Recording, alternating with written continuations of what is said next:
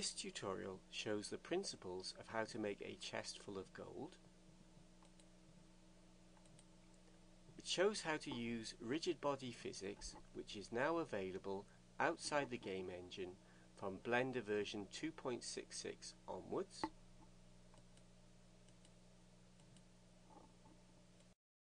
Click the Object button in the Properties window.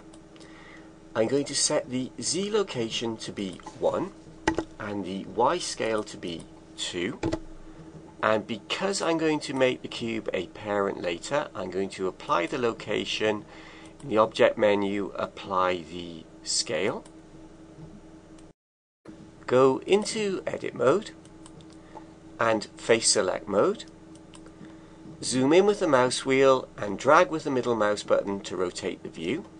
Select the top face mesh menu faces, inset faces, shortcut key is I.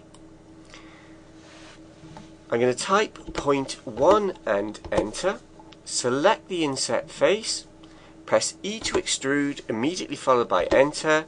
G to grab.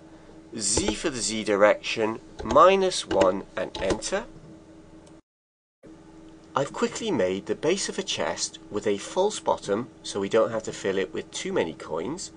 For the material, I'm just going to set the diffuse color to be a dark brown.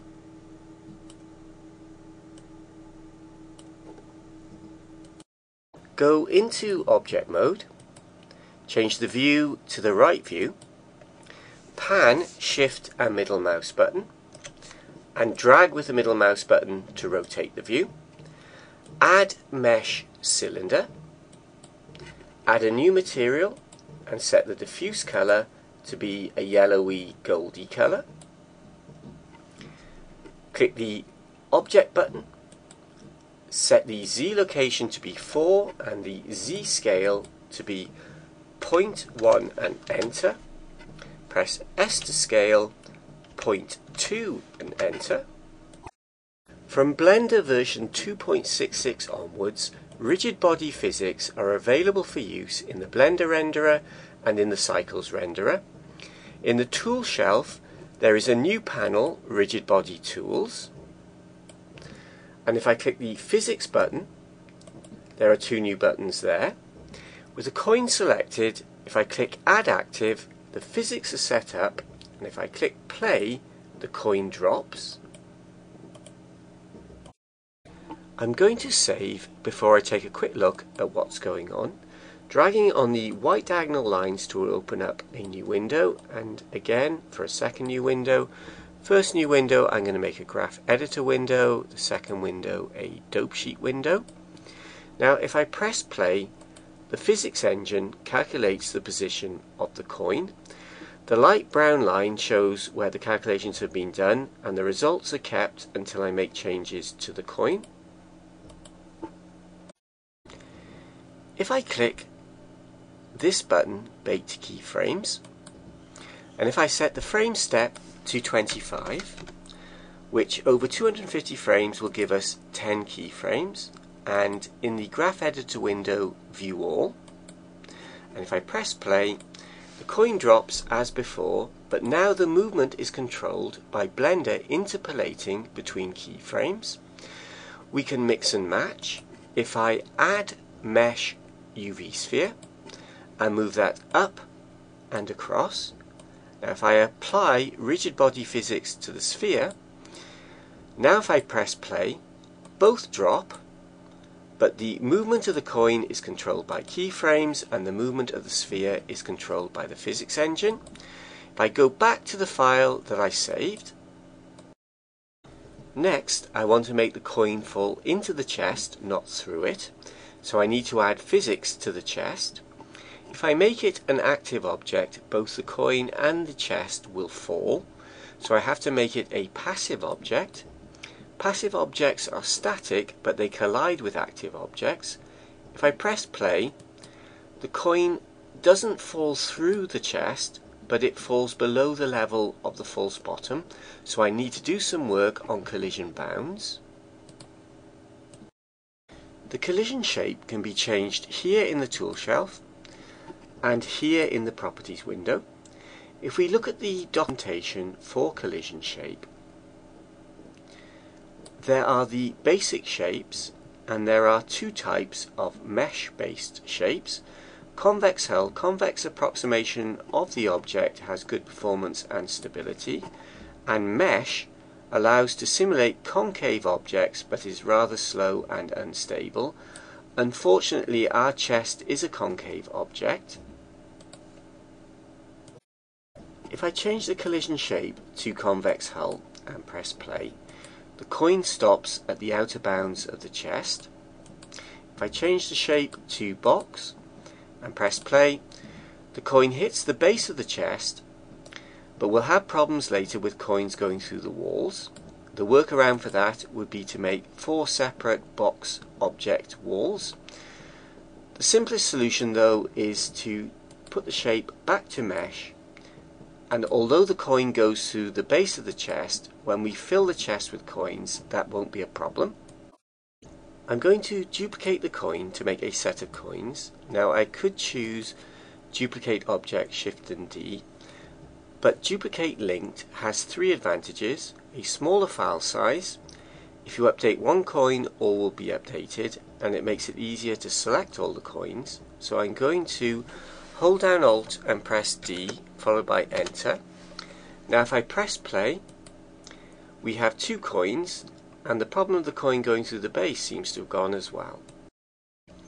We now have two coins. In the outliner window, they are cylinder and cylinder 1. To double the number of coins, we must select them both. I'm going to do a B select, press B on the keyboard and drag. Now I'm going to duplicate Alt and D to duplicate linked and press enter. And now we have four coins. To double the number of coins B select Alt D and enter. And now we have eight coins.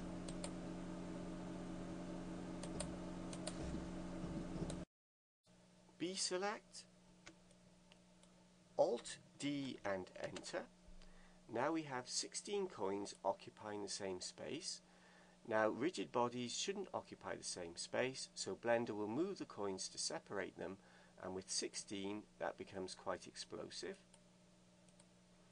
B select, Alt D and enter. Now with 32 coins it becomes so explosive some of the coins miss the chest. So I'm going to use the tip of the blue arrow to move the newly duplicated coins down a bit and that is less explosive. B select, Alt D and enter and move the duplicates down. B select, Alt D and enter and move the duplicates across.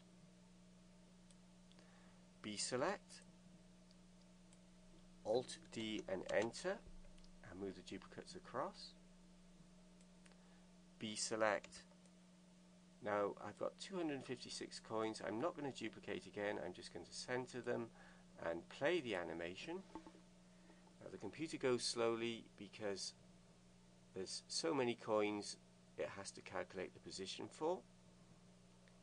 Get a nice random spread of coins. Some of the coins miss the chest, but most are captured.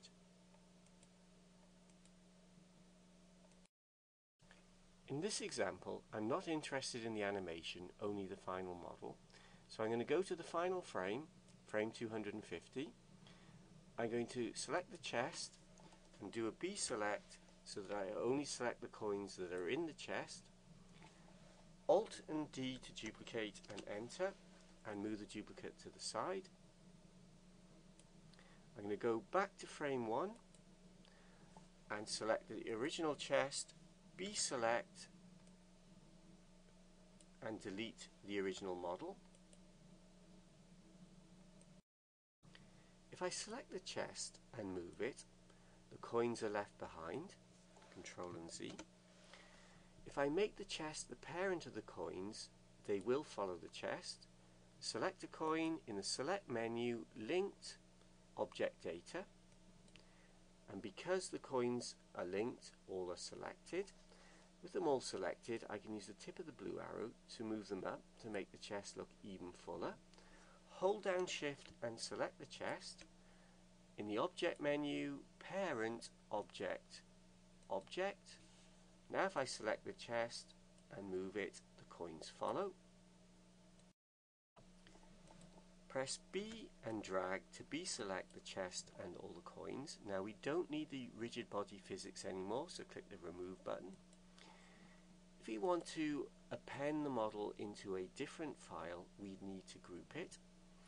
B-select, in the object menu, group, create new group. With any of the objects selected, click the object button and give the group a meaningful name, treasure, file, save,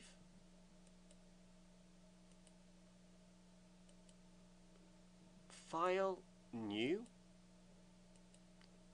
move the cube to the side, file, append, go to the folder, select the file, go into the group folder, select the model, and append.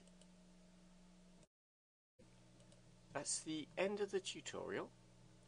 I'll put the finished file at my website www.freemovies.co.uk at the Blender channel there.